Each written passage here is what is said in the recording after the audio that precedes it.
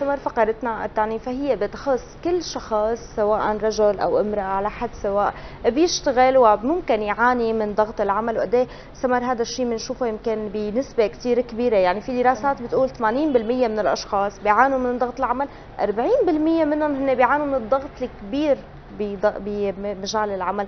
قد إيه هذا الشيء ممكن يمرق معك؟ سمار وممكن يمرق معي ومع اي شخص. آه، أكيد. ضغط العمل موجود بكل عمل. يعني بكل مكان بتلاقي إنه في ضغط بكل يعني بكل مجال بتلاقي أي حدا فينا عم ينضغط بس بنفس الوقت يعني حسب أنت إذا الشغل أنت بتحبيه فبضغط العمل حتلاقيه إنه عادي يعني ويمرق عادي يعني إنه فترة معينة.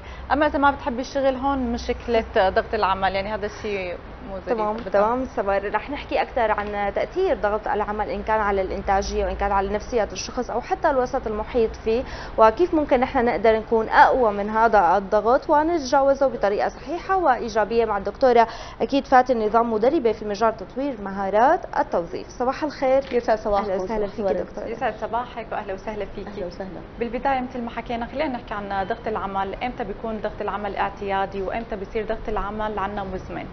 أول شيء نحن كل واحد فينا يعني بعمله آه، دائما في عنا مهام ومسؤوليات. بس نحن إمتى بصير في عنا بنقول إنه صار في عندي إنه ضغط بالعمل. وقت نحن يصير في عنا تداخل بهذا العمل يمكن يتعقد يمكن أحيانا نحن كل واحد فينا عنده إنجاز. بده ينجز عمله بس بعدين إنه بالنهاية يمكن يتداخل قصص مع بعضها. هون نحن وقت يصير في عندي العمل اللي بنقول عليه شوي ضغط ولكن هو اعتيادي بمعنى إنه هو يمكن أنت تفوت كلمة الضغط يمكن هي بمعنى روتين. يعني أحيانا أنت روتين ما عم تعملي شيء أحيانا